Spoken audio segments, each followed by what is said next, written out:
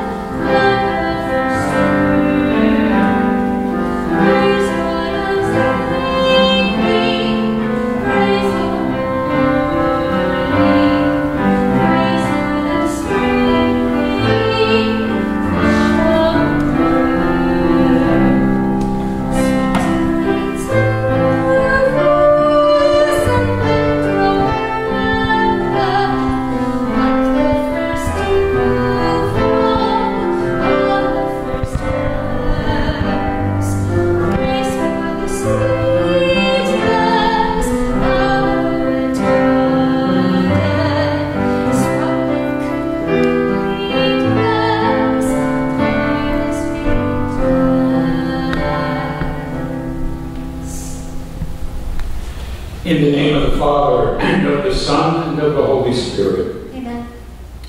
The grace of our Lord Jesus Christ, the love of God, and the communion of the Holy Spirit be with you all. And with your spirit. We welcome you as always. We thank you for joining us to pray in this video Mass from St. John Nepomucene Church in Bohemia. Today we celebrate the Mass of the 15th Sunday of Ordinary Time. On the calendar it is July 12th. To make ourselves ready for the perfect love of Jesus, let us think of the ways that we need to become more like Christ, and for any times we have failed, let us be healed of all our sins by just pausing and asking God's forgiveness and mercy.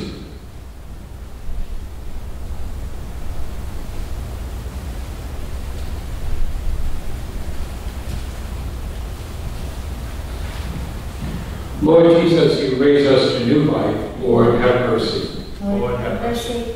Lord Jesus, you forgive us our sins. Christ, have mercy. Christ, have mercy. Lord Jesus, you feed us with your body and blood. Lord, have mercy. Lord have mercy.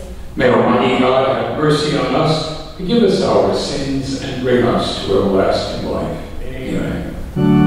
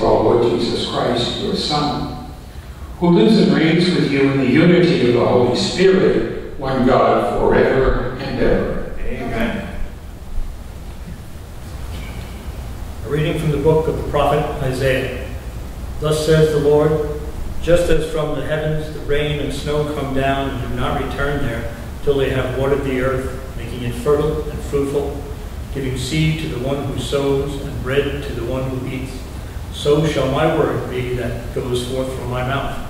My word shall not return to me void, but shall do my will, achieving the end for which I sent it.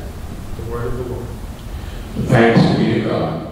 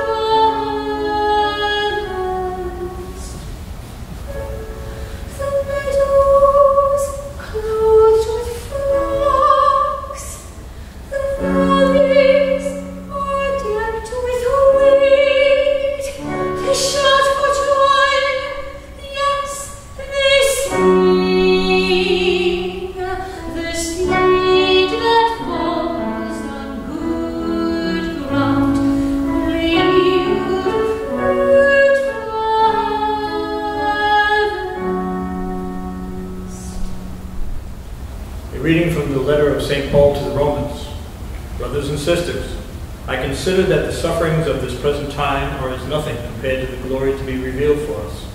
For creation awaits with eager expectation the revelation of the children of God. For creation was made subject to futility, not of its own accord, but because of the one who subjected it, in hope that creation itself would be set free from slavery to corruption and share in the glorious freedom of the children of God. We know that all creation is groaning in labor pains even until now. And not only that, but we ourselves, who have the first fruits of the Spirit, we also groan within ourselves as we wait for adoption, the redemption of our bodies. The word of the Lord. Thanks be to God.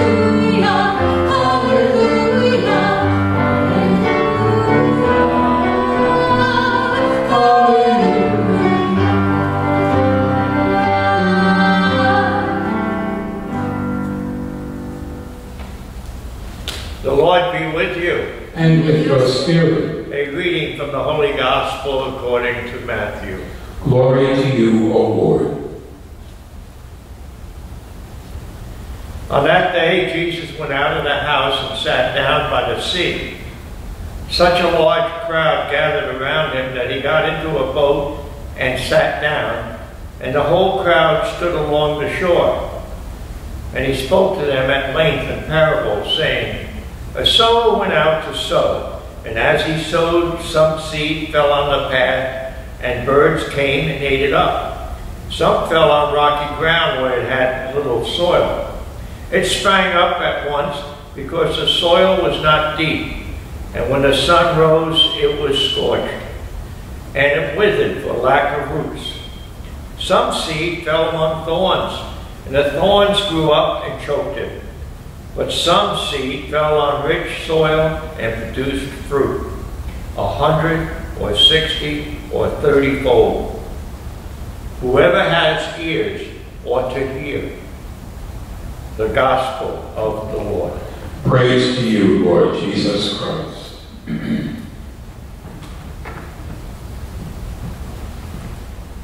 I was, I was with a group of sixth graders in their religion class not that long ago, and we read today's gospel together.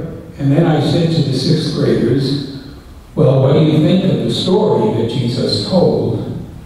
And one young man raised his hand and said, It sounds to me like the farmer wasted a lot of seed.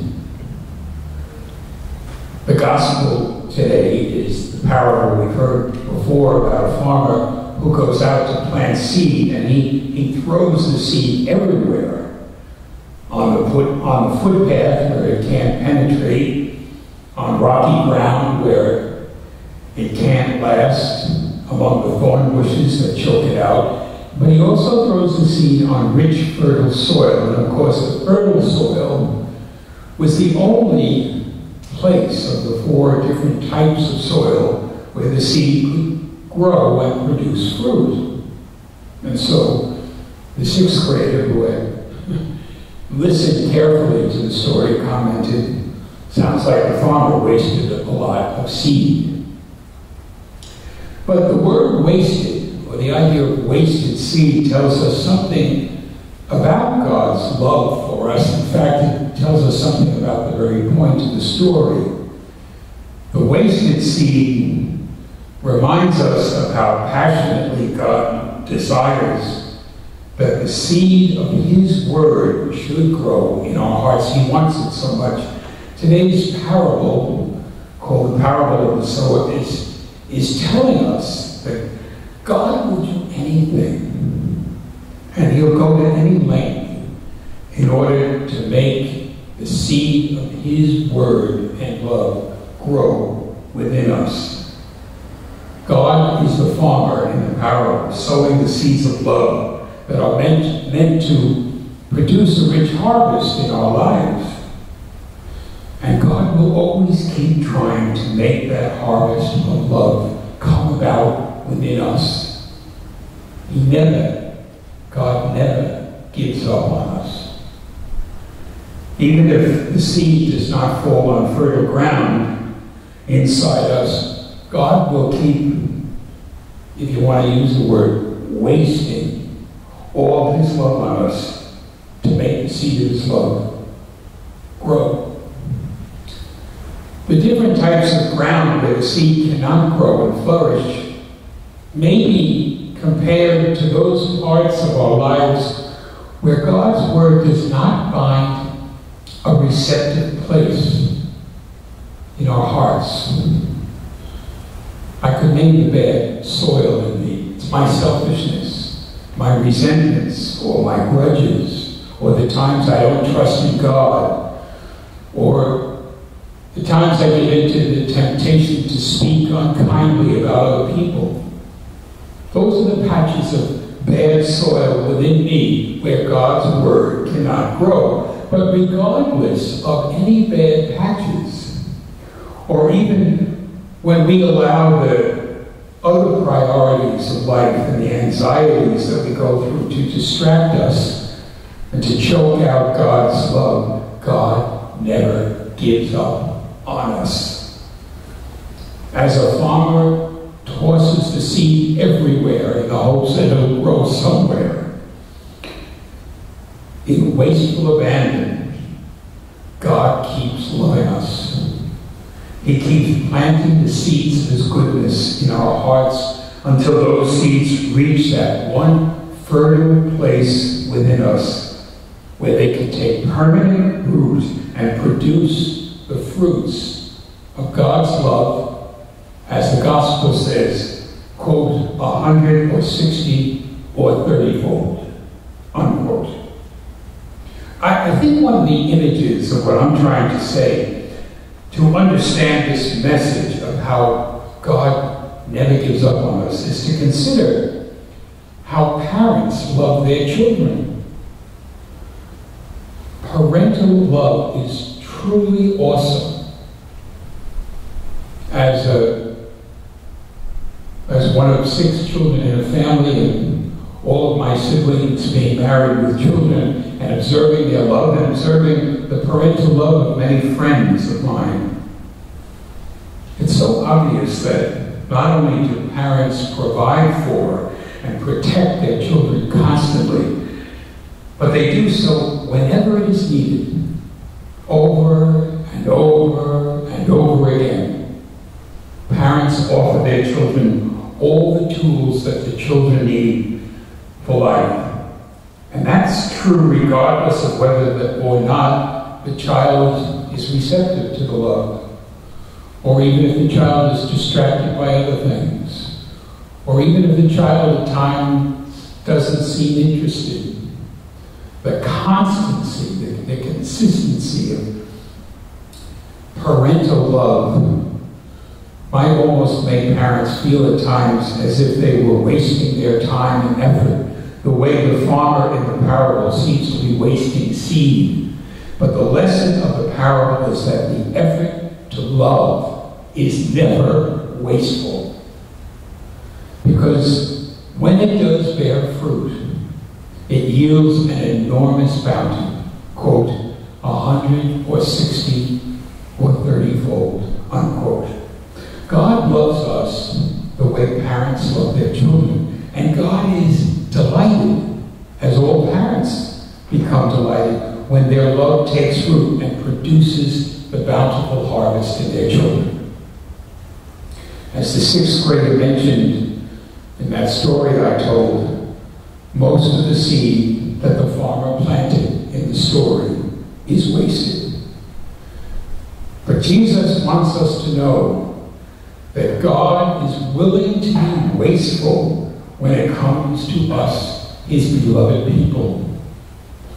God is even willing to endure failure for our sake. And that's because God has a vision of the abundance of the harvest that is to come even if the number of times that the seed of his love take root are very few. In today's first reading, the prophet Isaiah attributes to God these words, quote, My word shall not return to me void, but shall do my will, achieving the end for which I sent it.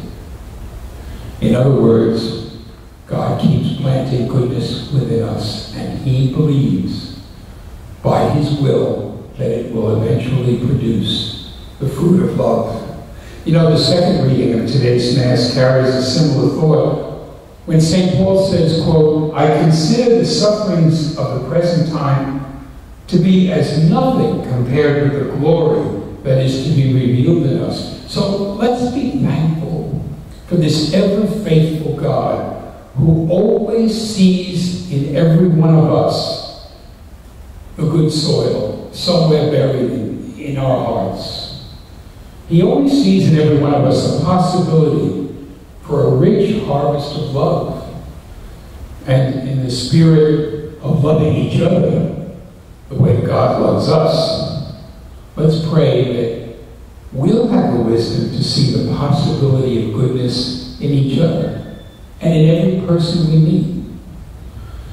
May all of us know that every effort we make toward our children, toward our parents, our families, our friends, and every fellow human being to whom we extend ourselves, that those efforts are never wasted. Never wasted. Even if those efforts seem unappreciated or unrecognized. Love, in all its forms, true, unselfish love, is never a waste of time. It is never a waste of effort or energy. For God promises that love will always achieve the end for which He sent it. And now we profess our faith together. I believe in one God, the Father Almighty, maker of heaven and earth, visible and invisible. I believe in one Lord Jesus Christ, the only begotten Son of God, born of the Father before all ages, God from God, light from light, true God from true God, begotten, not made, consubstantial with the Father. Through him all things were made. For us men and for our salvation, he came down from heaven, and by the Holy Spirit was incarnate of the Virgin Mary and became man. For our sake, he was crucified under Pontius Pilate. He suffered death and was buried, and rose again on the third day in accordance with the Scriptures. He ascended into heaven and is seated at the right hand of the Father. He will come again in glory to judge the living and the dead, and his kingdom will have no end. I believe in the Holy Spirit, the Lord, the giver of life, who proceeds from the Father and the Son, who with the Father and the Son is adored and glorified, who has spoken through the prophets. I believe in one holy, Catholic, and Apostolic Church. I confess one baptism for the forgiveness of sins, and I look forward to the resurrection of the dead and the life of the world to come. Amen. Let us approach our loving Father with our prayers, confident of his infinite and constant care for all of the human family. Our response is, Risen Lord, hear our prayer for all bishops, priests, and deacons. May the grace of God nourish them in mind, body, and spirit as they preach the gospel. We pray to the Lord. Risen Lord, hear our prayer. For all who serve in public office, may the Lord grant their hearts of justice and compassion. We pray to the Lord. Risen Lord, hear our prayer. For those burdened with any with many sufferings, may God renew in them a hope that brings consolation and peace, we pray to the Lord. Risen Lord, hear our prayer. For those who are sick in our parish, especially Joe Marchese and Gail Harper, and for all who suffer from any kind of addiction or chronic illness, that they may receive healing and hope, we pray to the Lord. Risen Lord, hear our prayer. For those who have died, especially Linda Mark and Robert Ferreira, and for those who have lost their lives in the coronavirus pandemic, that they may be welcomed home into God's loving presence. And for their families, may they be comforted by the power of the Lord's resurrection. We pray to the Lord. Risen Lord, hear our prayer. For comfort and strength for all who demonstrate and protest peacefully, and for all who risk their own safety in law enforcement to preserve our freedom and a way of life, we pray to the Lord. Risen Lord, hear our prayer. And for the parishioners of St. John, who we remember in a special way at this Mass today, and for the intentions within our hearts.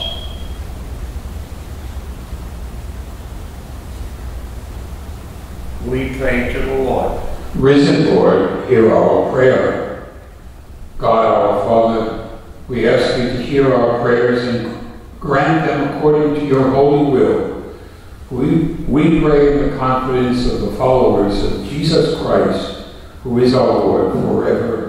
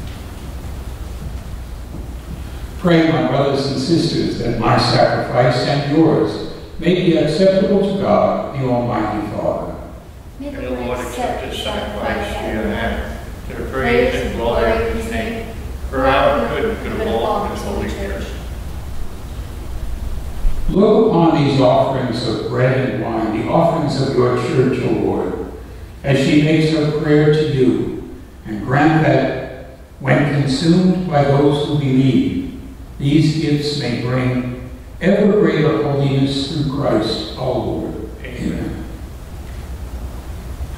The Lord be with you. And with your spirit, Lift up your hearts. lift them up to the Lord. Let us give thanks to the Lord our God. It is right and just. It is truly right and just our duty and our salvation, always and everywhere to give you thanks, Father most holy, through your beloved Son, Jesus Christ, your Word, through whom you made all things, whom you sent as our Savior and Redeemer, incarnate by the Holy Spirit and born of a virgin. Fulfilling your will and gaining for you a holy people, Jesus stretched out his hands as he endured his passion and cross, so that he could break the bonds of darkness and death and offer to us the hope, the joy, and the peace of the resurrection. And so with the angels and all the saints we declare your glory, as with one voice we acclaim.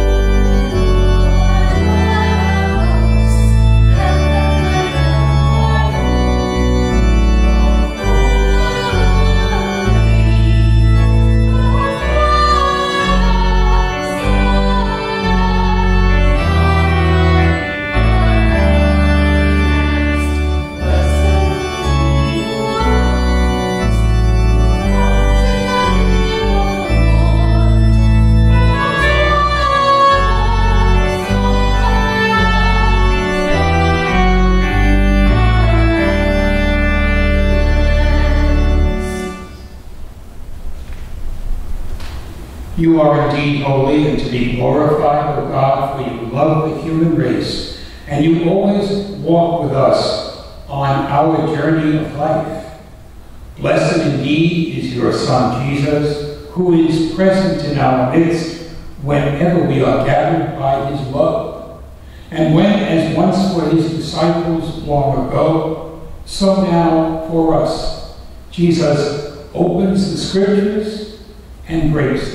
the bread. Therefore, Father most merciful, we ask that you send forth your Holy Spirit to sanctify these gifts of bread and wine, that they may become for us the body and blood of our Lord Jesus Christ.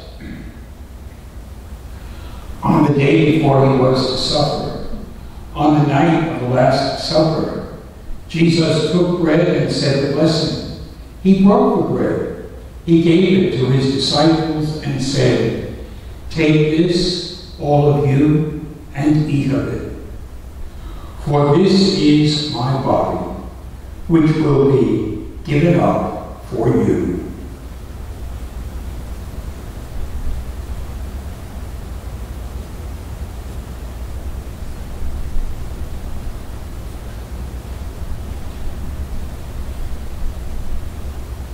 In a similar way, when supper was ended, he took the chalice and gave thanks. He gave the chalice to his disciples and said, Take this, all of you, and drink from it, for this is the chalice of my blood, the blood of the new and eternal covenant, which will be poured out for you and for many for the forgiveness of sins. Do this in memory of me.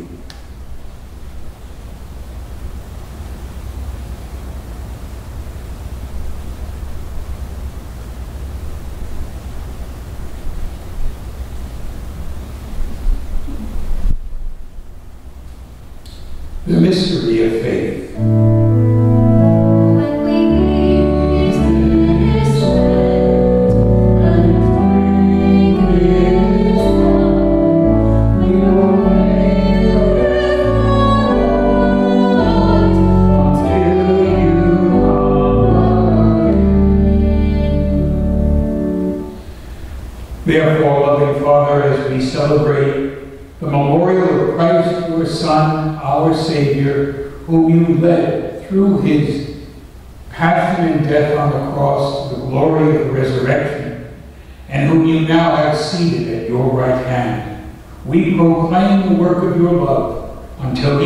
Again, and we offer you the bread of life and the chalice of salvation. Look with favor on these offerings of your church, in which we show forth the dying and rising of Christ that has been handed on to us, and granted by the power of the Spirit of your love, we may be counted now and until the day of eternity among the members of your Son, in whose body and blood we have communion.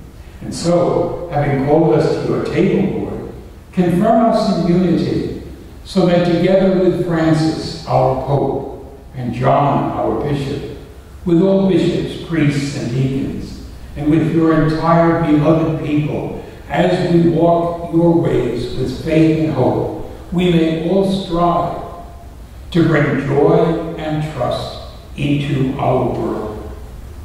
Remember our loved ones who have died in the peace of your Christ, and all the dead whose faith you alone have known. Admit them to rejoice in the light of your face, and in the resurrection give them the fullness of life. Grant also to us, when our earthly pilgrimage is done, that we may come to an eternal dwelling place and live with you forever. There in your kingdom in communion with the Blessed Virgin Mary, Mother of God, with Joseph, her husband, with the apostles and martyrs, with our beloved patron John Nepomucene, and with all the saints, we will praise and exalt you forever through Jesus Christ, your Son.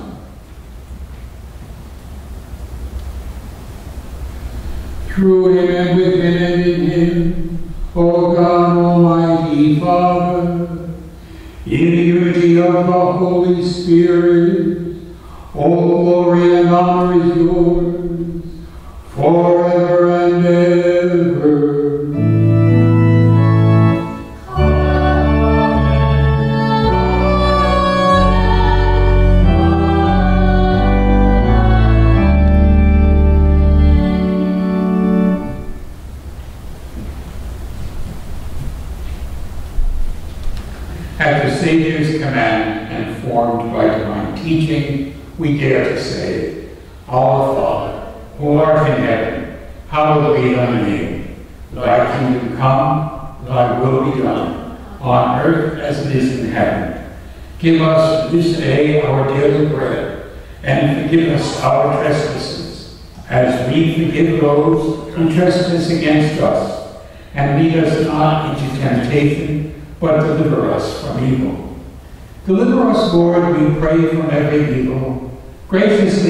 Peace in our days, that by the help of your mercy we may be always free from sin and safe from all distress as we await the blessed hope and the coming of our Savior, Jesus Christ. For the kingdom, the power, and the glory are yours, now and forever. Lord Jesus Christ, who said to your apostles, Peace I leave you, my peace I give you.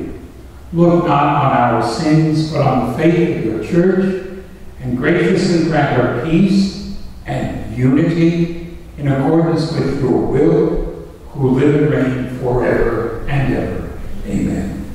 My friends, the peace of the risen Lord be with you always.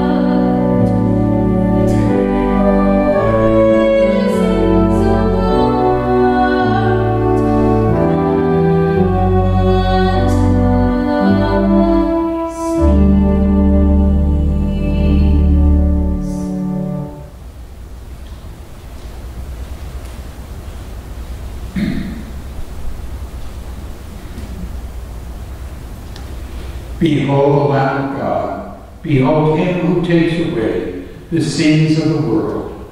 Blessed are those called to the supper of the Lamb. Lord, I am not worthy that you should enter under my roof, but only say the word, and my soul shall be healed.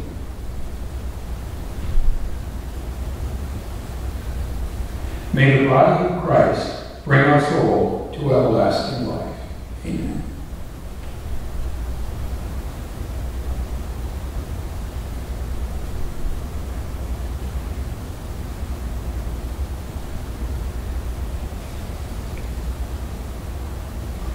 May the blood of Christ bring us all to everlasting life.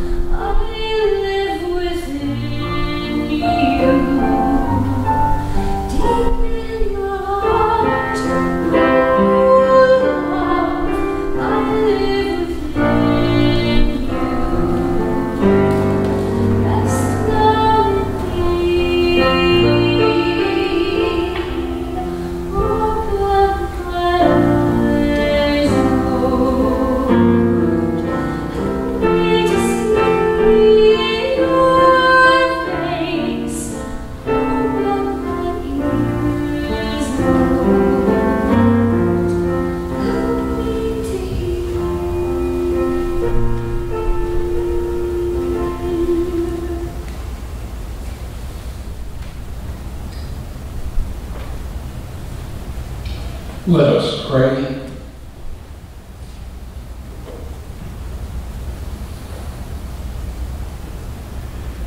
Having received these gifts of love, we pray, O Lord, that by our participation in the Eucharist, its saving effects upon us may grow and empower us more deeply to become worthy and effective messengers of your healing love to our world.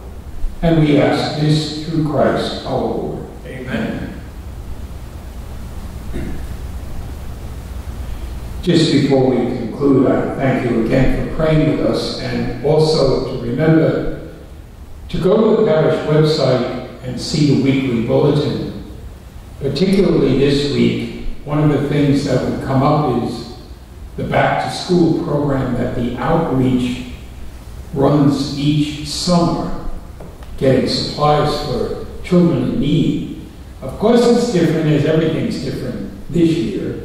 We don't even know when the children or if the children are going back to school in September. So the back to school program is being run a little differently than it has been in years past, but you can find the details in the bulletin. As always, thank you to so many people who keep bringing food because we're delivering food week after week to over 65 families in our community who are in need. And thank you so much to our generous parishioners who continue to mail in their, their financial support, although they can't be with us on Sunday. We do have masses on Sunday, 5 o'clock Saturday evening, Sunday 8, 10, and 12 noon. All are welcome. My friends, the Lord be with you. And with your spirit. May Almighty God always bless you, the Father, the Son, and the Holy Spirit. The Mass is ended. Let us now go in peace. Thanks be to God.